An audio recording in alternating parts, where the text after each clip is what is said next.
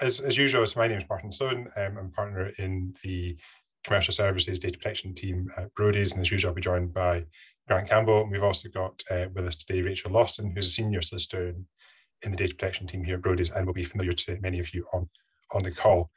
Um, if you'd registered this some time ago, you may remember we were due to do this session at the end of May, but we decided to reschedule it in the hope that we would have um, a bit more information on the government's plans for data reform, um, which at that point uh, were um, trailed as going to be in the Queen's speech. Um, and we also hope that we'd have the Information Commissioner's finalised guidance on international transfers.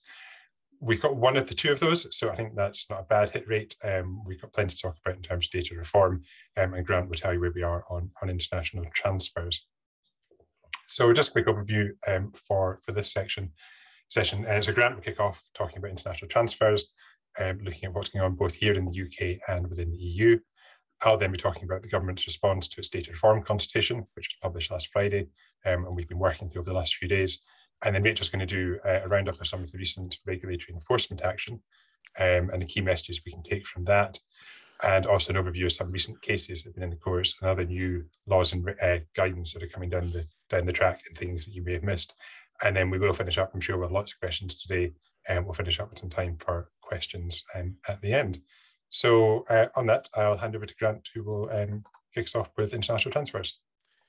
Thank you, Martin. Uh, good afternoon, everyone. As Martin said, we had hoped uh, by uh, postponing the earlier session that we would have had the ICO's guidance on international data transfers, but that has yet to be published. So today what I'm going to do is really just give an overview of the developments of the last six months, but we did promise when we did the session at the back end of last year that we would dedicate a special session international transfers once the ICO's guidance had been issued, and we intend to keep to that. So, um, although we're not going to go into great depth on this topic today, uh, we do promise that we will do as and when we've got the ICO's guidance. So that will come. Please look out for that. So, just moving on. Uh, those of you who uh, joined in the last session will recall that I spent quite a lot of time uh, going through the ICO's uh, consultation package from August 21. Um, so the ICO consulted on a draft international data transfer agreement, the draft UK addendum to wrap around the EU standard contractual clauses. And it also uh, produced a draft uh, transfer risk assessment uh, tool and consulted on various questions related to international transfers and the idea was then that it would it would issue uh, updated guidance. The ICO at the time promised a system that would be proportionate and risk based. So we had expected that um, we would have got the IDTA, the addendum, and the guidance uh, well before now. We did get the final form of IDTA, so the International Data Transfer Agreement and the addendum. They were laid before Parliament in February and they were approved and they came into force on the 21st of March this year. The ICO has said that it plans to issue clause by clause guidance on the IDTA IDTA and addendum, guidance on the transfer risk assessment and how to use the IDTA, and further clarifications on its transfer guidance, particularly on the questions that were the subject of the August consultation. Move on.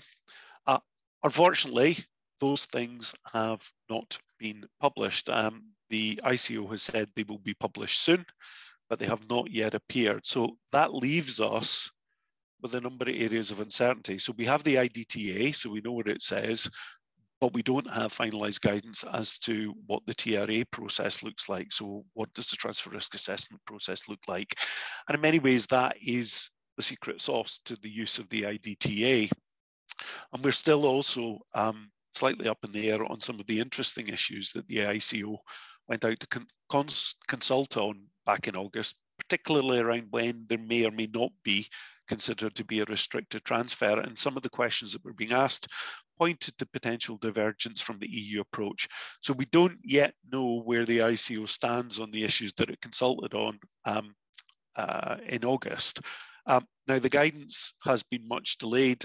We suspect possibly to factor in the UK government's data protection reform proposals, which Martin's going to talk about immediately after me. Uh, but we haven't had an explanation. So all we're promised is they are coming soon, but soon is, you know, we're now three or four months after the IDTA has been published and we're still without guidance. Uh, our view is uh, if you're using the IDTA or the addendum, look at the transfer risk assessment process that was set out in the draft guidance. We don't think you can be we don't think that you can be criticised for using the draft guidance. Perhaps be a little cautious in terms of the risk assessment elements, uh, but keep an eye out for the for the finalised guidance when it comes. The spade work that you do going through the transfer risk assessment process now will not be wasted. We don't expect that the TRA is going to be completely different to the one that the ICO went out to consult on back in August. So what should organisations be doing now? Well, carrying out transfer risk assessments for all existing and new international transfers.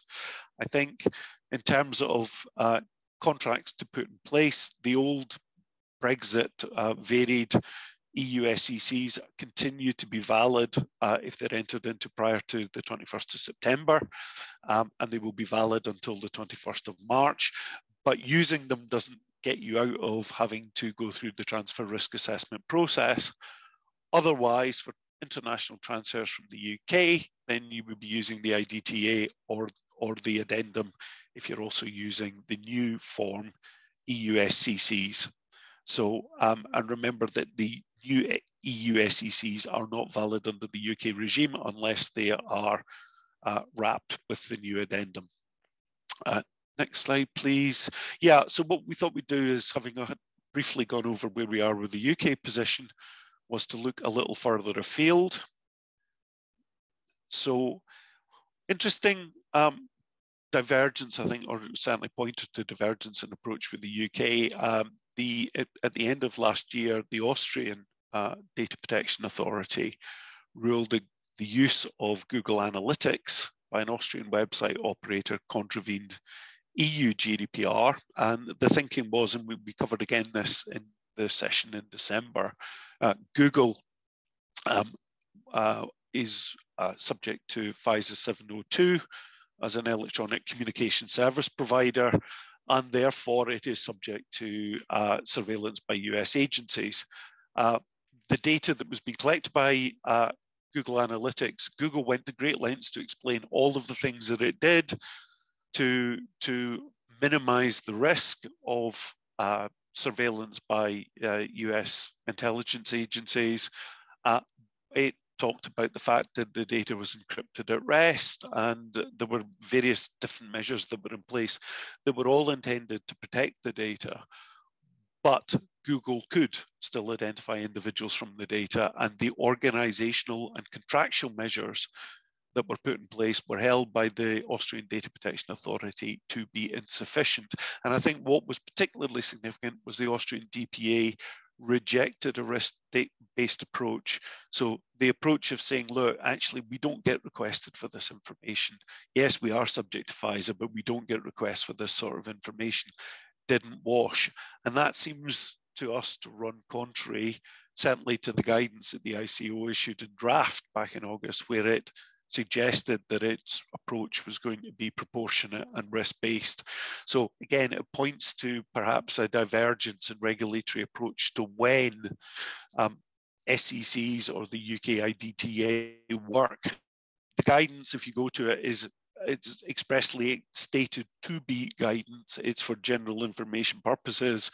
And the commission say, look, actually, ultimately, decisions on this stuff is for the regulators and the courts, not for us. But they do publish about 30 uh, Q&As on practical issues that they see arising in relation to the use of the SCCs. They say these Q&As, the Q&A will be dynamic. They will add more uh, answers to questions as they come up. Worthwhile looking at. My only observation, I think, would be that they answer questions that are fairly straightforward to answer. What, or they answer them in terms where the examples are clear cut. They don't really go into issues where the answers may be more nuanced. One thing that is worth mentioning in passing is that there is a recognition that the EU SCCs can't be used with the data importer abroad is itself directly subject to GDPR. And the Commission acknowledges that and says that they are actually working on a yet further set of standard contractual clauses that will work where the importer is itself subject to UK GDPR. So more to come. Next, please. I suppose the the you you may all be holding your head in your hands and thinking this is getting horrendously complicated. Uh, I think the one bright spot um, for particularly for transfers around the US is that there was an announcement in March. It's just a single page um, glossy flyer from the US administration and the EU Commission, suggesting that they have been working on a, what you could call it a Safe Harbor 3 or a Privacy Shield 2 to allow the free flow of data to participate US companies, again under the auspices of the US Federal Trade Commission. Um, the agreement is in principle. They say that it actually needs to be written down in legally binding form, and I think they're all working on that. But I think what we are hoping is that actually something will come out of this that will enable uh, companies that sign up to these rules in the US to receive data without necessarily having to go through the pain of going through all these these um, different forms of contractual mechanism. I think the other thing that I would say, just and, and by way of trend, I think it's important to just to to bear in mind the wider context there is a broader proliferation of EU style laws around the world. I've listed two there one China, the other one in the UAE. And I think they're relevant, I think, because we always think about international transfers in the context of can we transfer data to another uh, to another third country, but actually what this is pointing to is that these countries are going to have their own data protection laws, and the issue of whether data can be transferred to the EU and the UK arises because you need to make sure that you are compliant with their rules on international transfers. So this reverse transfer issue is not just one way. As more and more data protection laws are promulgated around the world, the issue of compliance is one not just of divergence, but it's also one of proliferation. And finally, just the last thing I would say is you may have noticed that in the US, uh, there is now a proposal, and this is a bipartisan initiative, so uh, congressmen from both sides are introducing a federal privacy bill into Congress. It would be the American Data Privacy and Protection Act. Um, whether or not it passes is unclear. I think time before the midterm elections is quite short. Um, but the fact that there is now a serious attempt to actually introduce a federal data privacy law in the States, I think is quite significant. And I think it's in part fueled by the desire to see a privacy law in the States that can then underpin wider cybersecurity and other initiatives, and that's in part uh, raised by wider international events, Russia and the Ukraine, etc. So there's a lot to happen. As I say, we will do a separate session on international transfers when we have uh, the ICO's guidance, so please look out for that. And I think following that, I'll hand over to Martin, who's going to talk about data protection reform. Martin. Thanks, Grant. Uh, yes, I'm going to spend the next 10 minutes or so talking about what is going on with data reform. Um, for those of you that were with us uh, last November, December time for our last update, you remember that the consultation had taken place um, and closed and the government was looking at the responses to that. Um, so this is all about how the UK government can use the, I suppose, the freedom um, that it now has following Brexit to deviate or move away from uh, GDPR and the Privacy Directive in terms of the law that applies in the UK. So uh, the government um, trailed, uh, there's going to be legislating on this in the Queen's speech announcement um, at the uh, the end of May. Um, and then last Friday, we had the publication of the um, consultation response. Interesting, I think, that it was published on a Friday. And also interesting that it didn't have the same level of media coverage that the consultation itself had last year, um, which I think is perhaps reflective of the fact that uh, some of the the reforms being taken forward are not quite as bold um, as some of the things that were being proposed last year. So, I mean, on, on that note, it is fairly clear, having read through the consultation response, um, that a lot of the proposed reforms had fairly mixed views from respondents. There are quite a number, quite a number of areas where the government is proposing to legislate, even though respondents had the majority of respondents had disagreed with a particular proposal, and I'll talk a bit about that. But a lot of the feedback was saying you know, um, we don't want anything to happen that will impact on the EU adequacy decision. Uh, things that are going to cost to implement, we're not interested in that. and also this general, if it isn't broken, then then why fix it? What you know, particularly when we're looking at the accountability framework. They were also concerned about the impact on the rights of data subjects as well. Um, and I say that that has led to some stuff being taken forward, even though uh, respondents didn't agree with that, but some of the more contentious proposals have been dropped. Okay, so what is actually going to be changing then? Well, first up, and the one that we'll, spend a bit more time on uh, in one of the later slides around accountability framework, that is being uh, shaken up. So I'll talk a bit about what is happening on that and the impact of it um, and what that means for DPOs and others um, at the moment. On international transfers, so following on what Grant has said, um, the, the bill will amend the law to make um, an express reference to risk-based approach when um, assessing adequacy. So when the UK government is making an assessment of adequacy for another country, it will now be able to expressly take into account the risk of that. I, I don't know quite how that works in practice because ultimately risk needs to be assessed knowing what data is being transferred and the identity of the recipient. So I'm not sure how you would assess risk at a, a national level, but we'll, we'll see the detail of that. Um, the Secretary of State's also got a bit of flexibility when it comes to making adequacy decisions, including taking into account whether the transfer is, quotes, desirable. Um, that appears to provide quite a bit of leeway to um, effectively put to one side perhaps some of the risks identified and then look at whether for trade or, or other purposes a deal, uh, you know, the, the government wishes to do a deal. And in relation to the IDTA and other transfer mechanisms, as, Grant has said, you know, the, the ICO's approach in its draft guidance very clearly places a lot of emphasis on assessing risk. That will be um, now recognised in law um, through the amendments in, in, the bill. So the uh, the law will expressly talk about in Article 46, emphasising proportionality and, and assessing the risk of the, the transfer that you're actually making, which is, is helpful in terms of giving a statutory basis for the approach that the ICO is taking. Um, on legitimate interest, so the white paper, the, the consultation paper had proposed whitelisting a number of um, activities um, where organisations wouldn't need to actually do a legitimate in, interest assessment. There was quite a bit of pushback on this, um, and the government is proceeding with including a whitelist, but it will be much more limited than I think had originally been envisaged. So it will mainly focus on activities that are for the prevention of crime or safeguarding or matters that are in the public interest. And we need to see the detail on that to see what actually makes it onto the list, but it's not quite as broad as it has been before. Um, there was concern that that, that would undermine the, the, the, the operation of the legitimate interest condition on artificial intelligence, so not not as much happening on this as was proposed last September. Um, the main thing to flag is that there will be a new clear legal basis for using special category data, where you're using that for the purpose of bias monitoring and correction. So using data to actually ensure that your AI is making the right decisions and it's not um, perpetuating inherent bias. Um, and you can correct errors in that. So that I think is, is a helpful addition. I'll talk a bit about some of the other stuff in AI um, on the next slide. On research, um, the, the, main changes here are clarifying the law and simplifying it, um, which is good. And there'll be a new definition of scientific research, which brings forward some of the provisions that are in the, the um, recitals of GDPR into the main body, into the operative provisions.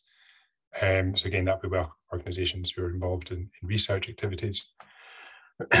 On data subject requests, um, there'll be some changes to align some, some of the exceptions with FOI law around vexatious or excessive requests.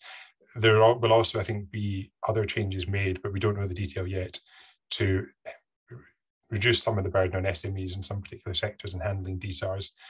It's not quite clear what that means. Clearly, that's a bit of a Trojan horse. It could be quite broad or it could be quite narrow. And um, we'll need to wait and see what happens in that on complaints, so organizations will have to put in place a transparent complaints process, um, and that will need to be used by individuals before they then complain to the ICO. So that is good and should cut down some of the ICO complaints. On public tasks, the um, organizations who are performing a function for a public authority will be able to now borrow the public authority's public task condition. So if, for example, your organization is being asked to share data with a public authority for a public task, then the moment you can't borrow um, the public authority's public task condition, but the amendments will, will enable that to happen. So that will that will help with things like data sharing, but I don't think that will extend to um, sharing of special category data. We'll, we need to see the detail on that. On special category data, we'll get some more um, legal basis in Schedule 1 based on substantial public interest to fill in some gaps. And then the other changes around aligning parts three and four, which deal with law enforcement intelligence service processing, to align the terminology with UK GDPR. Now, that was implemented under a directive, so I'm not quite sure why that wasn't done when the bill was drafted, when the DPA 2018 was being passed. But for those of you involved in law enforcement, that, that will be a helpful clarification. On e-privacy, there's been a lot of talk about what's happening with cookies. Um, cutting through it, actually, the, there's not a huge amount happening just now. So the government is very clear that it wants to move to opt-out um, for dealing with cookie consent, but that's not going to happen until there's a browser-based solution in place that enables people to actually properly manage cookies. And that is something which is the, the e-privacy regulation that is stuck within the, the EU institutions um, is, is going to legislate for. But in the meantime, um, the requirement for consent for using non-intrusive cookies will be will be removed. Um, that will include uh, website analytics. Um, it may also include some other stuff as well, but we need to wait and see the bill before we know exactly what is within that. On electronic marketing, if you are a charity um, or another non-commercial organisation, you will be able to benefit from soft opt-in. I know that will be welcome by lots of um, charities and others who, who find that um, current uh, uh, situation a bit a bit weird. Um, so that that is good for them that they will be able to treat that in the same way as say a commercial organisation. It also probably means you're going to get a lot more spam from your uh, MP or councillor if you start dealing with them. So pros and cons on on that. And then on PEC enforcement, the fines will be aligned with uh, GDPR. There's a bit happening with the ICO as well, so it will become a body corporate like other regulators rather than all the powers just being vested in individual. It will get some new um, objectives that are statutory, but we are told that won't cut across its independence. Um, it will be required to set up expert panels when it's developing codes of practice and guidance, which I think will help with making them better, better suited to the, the audience they're being prepared for. Um, so I think that that is a good thing. But on the other hand, the Secretary of State will now have the power to approve codes and guidance before they're laid before Parliament, so effectively a right of veto, um, which uh, perhaps interferes with the independence. Um, I mentioned complaints before um, around the complaints process, and the ICO will now be able to set a criteria for deciding when it doesn't want to investigate a complaint. Um, and it may also get a new name as well, though we don't know what that will be. Okay, so what's not being taken forward? Um, Article 22, this is your right to review of a um, automated decision. That is not being taken forward. That was pretty contentious. On AI, there, there will be some new developments in terms of the role of fairness and explainability, but that will be taken, taken forward under a separate AI workstream rather than as part of data protection reform. Um, the proposal to reintroduce the data protection fee is not being taken forward. Um, there was strong opposition to that. Um, and on international transfers, there's been some talk, and Grant uh, alluded to this in his, his presentation, around removing uh, the rules from reverse transfers, so sending data back from where it came, say you're a UK processor, returning data to a non-UK controller. That is not, not happening. So that will remain within scope. And then on research, they, they are not going to go ahead with creating a specific legal basis for research under Article 6 because the conclusion is that is not, not necessary. Okay, so I mentioned this new accountability framework, and I think this will be probably the thing that will most interest people that are with us today. Here are the headlines. So the requirement of a DPO, if you have to have one at the moment, will be abolished. Um, there will no longer be a need to maintain an Article 30 register in its current form, and there will no longer be an obligation to carry out DPIAs in relation to high risk processing. And what we're going to have in place is something called privacy management programs.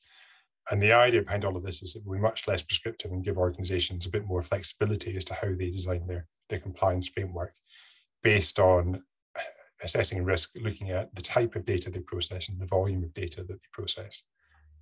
So we've got a bit of detail around what, what the elements of that will be. Um, there will be a leadership and oversight element, including a requirement to appoint a senior responsible individual um, who will have oversight for compliance and, and, dealing with the information commissioner and data subjects and ensuring that training policies are in place. Sounds a bit like a DPO, but it doesn't have, it doesn't appear to have um, the same obligations around being um, immune from conflicts of interest and the uh, requirements in terms of skills and expertise. So it sounds more like a sort of board level representative who takes responsibility. That feels like a good thing. Um, but um, obviously there's an impact there in terms of who actually does, does the work. And I suspect many organizations will continue to have someone who's a bit like a DPO doing, doing what they do at the moment. Um, on risk assessment will be part of the privacy management program. Um, again, we don't have detail on that, but I suspect in practice that means everyone's going to carry on using DPIAs. Um, policies and training, um, again, that sounds like what we do at the moment. Transparency, sounds like what we do at the moment. Training and awareness for staff, sounds like what we do at the moment. So looking at a lot of the themes, it seems fairly similar to what I think we all have put in place post GDPR. So it's it is a bit unclear beyond the express removals of those three things at the top of the slide and the requirement to have a senior responsible individual, what this will mean in practice for, for many organizations. I, I don't know how much actually we're going to change what we do. So what does this mean for you? Well, it, I suppose the first question lots of people are asking is around, will this impact on EU adequacy? I, I think the changes that are being taken forward would be described as evolutionary. They are not revolutionary.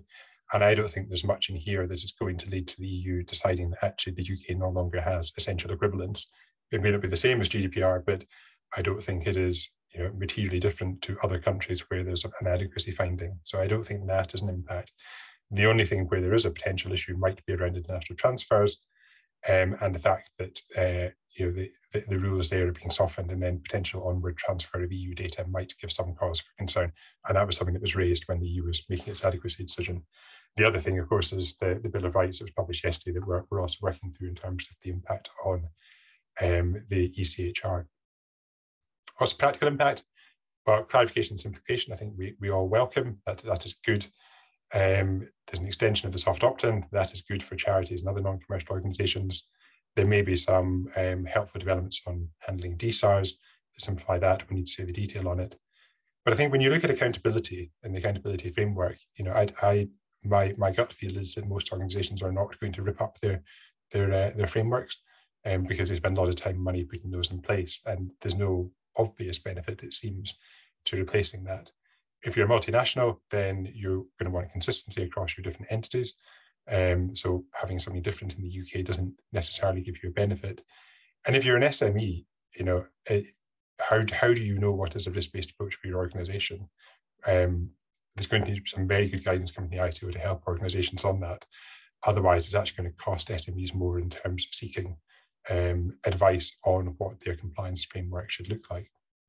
So I, I thought before I hand over to, to, Rachel for the next bit, we'd do a very quick poll just to get a snapshot of what um, uh, people think around um, this and whether just a, a, quick answer as to whether you think that based on what you've heard, you will be revamping your compliance framework. We are really interested to hear um, what people are saying on that. I'm not sure if that is on screen yet or not, but it looks like 46% uh, of people, their initial response is they don't think they're going to make any changes. 13% say that they will, um, and 41%, so a pretty high number here, unsure. And I think that's probably, you know, we're going to need to see the detail in the bill and actually work out what, what it is people are going to going to do on this. So thanks for providing that feedback. So we'll do another another poll during the Q&A, just get a bit more detail on some of the other questions. Really appreciate it if you could take the time to fill that in. Um, we're awaiting the bill. I think it will be the end of the, the summer before we see that. Um, but we will, of course, keep you keep you posted. And on that, I will hand over to Rachel, who will do a roundup of um, the enforcement action and other relevant points you want to cover. Thanks, Martin. Um, so we are going to have a look at some recent enforcement action um, in the UK and in the EU. Um, can we move on to the next slide? Thank you. So looking at the UK, first of all, um, the ICO has fined Clear, Clearview AI for various breaches of GDPR and UK GDPR. Um, essentially what Clearview did was collect more than 20 billion images of people's faces and data from publicly available information on the internet and social media to create an online database um, the ICO found that people were not informed that their images were being collected or used for facial recognition uh, for clear by Clearview's customers, including the police, and they'd also not identified an appropriate legal basis for processing. Essentially, the service that they offer customers was to allow them to upload someone's photo into their system and then they could check it for a match in the database. Um, and as well as being subject to a fine, the ICO also issued an enforcement notice ordering the company to stop obtaining and using the data um, of UK residents um, and to delete that from its system. So not just a fine there, but also some remedial action that it required them to take too. Um, Smith and others against TalkTalk was um, around a group of claimants who were customers or prospective customers of TalkTalk and alleged that their personal data was obtained from TalkTalk's IT systems by unknown criminal third parties and then used for, for fraudulent purposes. Um, the main complaint, however, was not that TalkTalk itself had misused. Uh, oh, can everyone see me and hear me okay? Yeah, I can. I yes, can yes, yep. I can hear you and see you. Okay, perfect. Sorry, I'll carry on. Um, so the main complaint was not that TalkTalk itself had misused their information, but that it had allowed, allowed others um, to do so. Um, so there's a reference there to the Warren case that Martin spoke about last time, which was the Dixons Carphone case, where the court said that you couldn't bring a claim under the misuse of private information or breach of confidence grounds after a cyber attack because the grounds of misuse of information require some form of positive action, and so neither of those things impose a security duty. Um, the main point under Warren was the fact that you are, so if you are subject to a third party attack, um, there's no basis for a claim under either of those torts. So here the court actually followed Warren um, and the claimant's case on this point failed because it expressly alleged a breach of a security duty as the basis for the misuse of private information. Um, but the court confirmed that for a misuse of private information to be viable, um, there had to be some sort of positive conduct on the part of the defendant. Moving on to PECR fines, there's always usually a couple of these to cover. So here we have five organisations fined a total of just over £400,000 um, in relation to calls to sell insurance products um, relating to household appliances such as televisions, washing machines, fridges, um, however, the recipients of those calls were actually registered with the telephone preference service, um, and the ICO also found that the businesses responsible had been deliberately targeting older people by buying marketing lists from third parties and specifically asking for information about people who were aged 16 over. So as well as falling foul of the PECR rules, um, the Information Commissioner, John Edwards, actually also commented on this saying um, it's important that we recognise the distress and anxiety caused by unlawful predatory marketing calls, um, and this is unacceptable. So other organisations um, engaging in such action can't expect tough action from the ICO. Um, Tucker Solicitors is an interesting case. Um, it's a firm of solicitors in London who experienced a ransomware attack on its systems. Essentially, the ICO determined that it had failed to implement appropriate security measures um, and it fined Tucker's £98,000. Um, I think the main takeaway from that case there is the importance of not only implementing appropriate security measures, but ensuring that you keep them reviewed um, and patch vulnerabilities and breaches on an ongoing basis. Um, the solicitors obviously had some security measures installed, but the, uh, the ICO didn't find them to be um, adequate or appropriate. Um, Reed Online, this is um, about Reed Online, which is an online recruitment um, company that you might be aware of, an online job seeker site.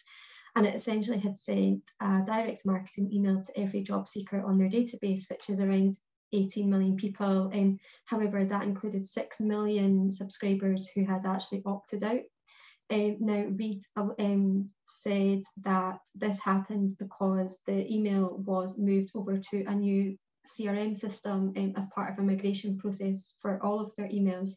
Um, this email status was then accidentally amended as a result of human error, meaning that the email was sent to opted out individuals.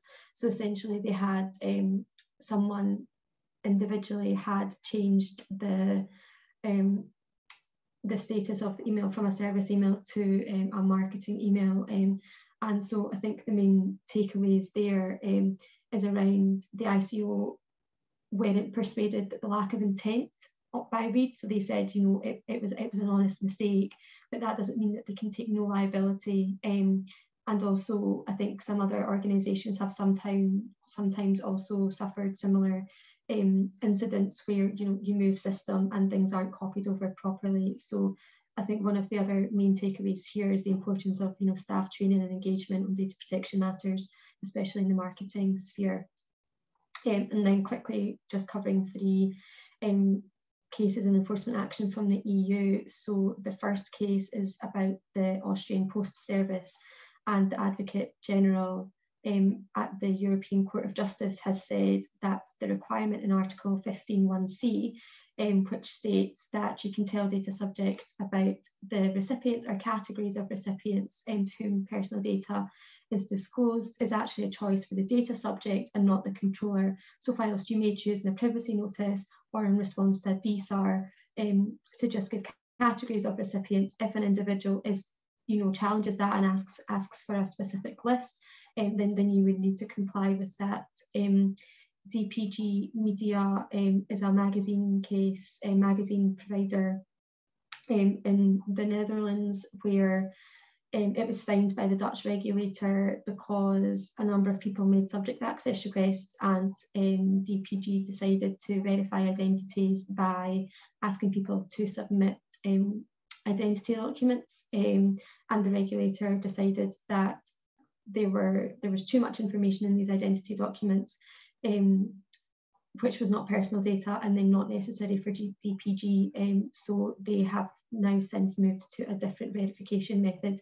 So I know that sometimes some of you um, undertake verification of identity um, when you're doing data subject access requests. So this is maybe something to think about if there's another way of verifying um, identities. Um, and the last um, French case is actually really interesting because we've not seen a huge amount of enforcement action against processors yet, but this is essentially um, a company which sells software solutions for medical analysis lab laboratories.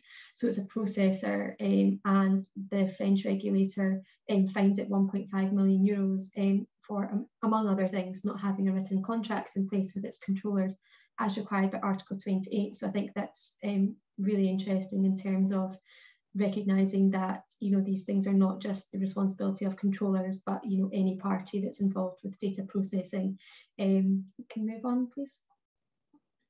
Um, and again thank you. Um, and so just to finish up um, here are some other things that have been happening and things to look out for um, on the horizon. So we have a new information commissioner John Edwards took over from Elizabeth Denham um, the ICO has signed an income retention agreement, meaning that um, its income from fines, etc., don't uh, or, not all of it um, now goes to the central consolidated fund, and they are able to keep some um, money that it fines organisations. So it'll be interesting to see if that impacts on the rate and scale of any ICO enforcement action going forward um, the DCMS published um, cyber security breaches survey um, with some quite stark um, results. 39% of UK businesses suffered a, identified a cyber attack, um, and the most common um, threat vector being phishing attempts.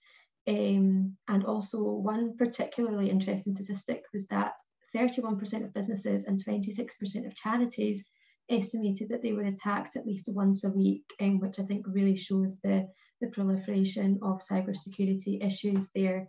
Um, on the EU side, we have new guidelines on the right of access and data breach notifications. There is also a proposal to expand the NIS regulations to managed service providers. Um, I think this is a particular point that might be of interest to charities and SMEs, um, particularly organisations if you outsource your IT services. Um, what this will do is put these obligations on essentially um, cybersecurity and other reporting requirements um, on your managed outsourced provider, which would then remove the obligation from you know the charity or the SME where you might not have that expertise. So I think that's probably quite a positive um, development.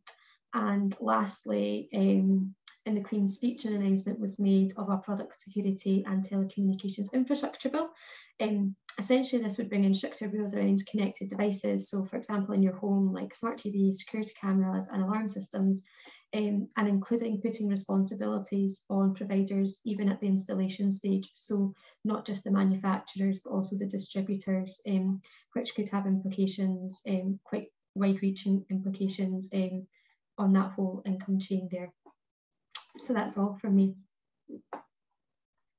Thanks, Rachel. So just before we hand um, hand back to Grant, um, who will um, chair, chair, the Q&A, um, as you mentioned, we'll be doing a special session on international transfers as soon as we get the finalised guidance. We, we can't give you any dates on that. We'd love to. We'd love to have done it before now, but we are at the mercy of the ICO as to when they decide to press go and that that guidance. But we will we will do that session. Thank you. Uh, so just do a couple of questions that have, have come up on the chat bar. Um, so the first one on international transfers about dates. I'm quite uh, pleased to be able to set this uh, set this right. It is a bit confusing. So there's a question about um, when the old style SCCs uh, can be used for. There was a bit of confusion. So we have to think about this both in the context of the UK regime and also the EU regime. So the 27th of December 22 is actually an EU deadline. So that's when you need to stop using the old um, EU SCCs. In the UK, and there's a little bit further confusion because under the transitional arrangements, I think the ICO originally made a mistake in terms of suggesting that the cutoff date would be September 2021. It is actually September 2022. So the date that I put in the slides, I think, is is the correct one. So it's again, it's because we've got parallel regimes and we're both using these EU old style SCCs and there's different dates depending on the context in which you use them. So that that that was that one. Uh, the other questions are more around uh, data reform. And um, I guess uh, probably for Martin, and I think we kind of know the answer from this from, from the comments that he has given already. Uh, but I think one of the questions is, you know, under Brexit, we were expecting that one of the benefits would be substantial reform of data protection. Um, is uh, this sounds a bit more like tinkering around the edges? What do you have to say, Martin? Yeah, I think I would. Yeah, I, I, would agree with with that. I mean, as I said, I think this is evolutionary rather than revolutionary, and I think that recognises a reality that if you do anything too radical, then you um, impact on that EU adequacy decision, which um, is something that the government just doesn't, I don't think, want to go near. Um, you know, th- there is headline grabbing stuff around the removal of cookie banners, um, but even that, it looks like it was somewhere down the track because there would need to be a browser-based solution in place that actually works. So I think it is very much evolutionary rather than revolutionary. I had wondered whether, you know, one of the things that the government could have done um, would be to consolidate UK GDPR and the Data Protection Act 2018 into a single text I think we might all have appreciated that, um, having one document to work for, work from. But even that, in, in the response consultation response, um, was said to be a step too far for just now. You know, so um, that may come further down the line. But in the meantime, we are stuck with juggling a number of different documents and recitals and operative provisions. Um, so even that sort of reform is, not something that's been done done at the moment. Another question: Is there any suggestion that the public sector will be able to use legitimate interests? As a legal basis for processing? No, so I mean, we have the rules at the moment that allow legitimate interest to be relied upon by some public authorities in certain circumstances. So, particularly if you're a, a hybrid organisation like a university and you're carrying out commercial activities, you can rely upon it. But no, we still have um, the public task condition. As I say, there are changes to make that available to others, which will deal with some issues around data sharing, which I know have caused issues over the last couple of years, but not a, an extension of legitimate interests to public authorities as a, a general principle. Um, when do we expect the UK changes to GDPR actually to be rolled out? I think you, you mentioned the timetable for when the bill might appear. Do we have any kind of sense what the government is saying? Yes, I mean, there's a number of bits in the consultation response where the government has said it's considering further. I mentioned in particular um, the rules on uh, DSARs and, and what can be done to, to help certain um, sectors and SMEs. So that to me suggests there's a bit of work to be done on the bill. Um, we are now at the end of June. Um, I certainly don't expect a draft bill before um, the uh, summer recess in Parliament. Um, I think realistic, probably we're looking, I would guess, probably September time would be my my guess. Um, but uh, I think we'll be a few months away from that. And then the big question, I think, is in terms of how quickly this comes into force. Obviously, it's got to go through Parliament, which will take um, several months um, there will be transitional arrangements around a lot of this as to when it comes into effect. Um, so you know the timing it could be could well be a, a, year or so in terms of how long you know we have to wait for some of this, but there may be some stuff that comes comes in or organisations can can benefit from sooner rather than later. Thank you. Um, have we got any answers on the, the polling? We do. We have had a 53%, 54% response. It keeps changing when I look at it. So thank you very much um, for for doing that. It's really, really helpful for us to see. Um, we will try and digest the results and um, uh, share share some information with that. It's it's, um, it's really really interesting for us. We we have our views on this, but it's really interesting to hear what um, clients and other organisations are are thinking as to how this will impact on on them. Yeah, I mean, I think data protection reform is going to be something that we will pick up again definitely in our next scheduled session towards the end of this year. Um, hopefully, by that point, we have a bill, we have an understanding as to what the, the shape of these reforms are going to look like, and we'll also get um, we'll get it um, uh, a clearer idea on things. I, what I do hope, though, and just to to basically pick up on the point that Martin made, we are really keen to do a detailed session on international transfers. It is a big issue uh, big issue for a lot of clients, but um, we are in the hands of the ICO as to when that guidance comes out. As soon as it does, and we've had a chance to digest it, we will um, we will let you know when we're planning to do another session and we'll focus it solely on international transfers. So um, at that point, we'll have a much, much clearer idea of what how, how the regimes look like and how they compare and contrast. And we can start taking some, you know, we can start giving some thoughts on, on how that works. So that will definitely be the next session, I hope, unless the ICO still hasn't actually published anything in six months' time, uh, at which point I think there will be big questions to be to be answered. Uh, but I think we'll have the shape of that hopefully uh, very soon, and we will do a subsequent session on that. Um, apart from that, I'm conscious that we are now slightly overrunning on time, so um, uh, I think we will close it down there. Um, please do complete the questions. Um, I think there is there is also a questionnaire uh, to be completed as well. If you have any comments or thoughts, things that you would like us to cover, um, we do we do value the feedback. It helps make these things what they are. So um, from me uh, and the rest of the team, thank you all very much.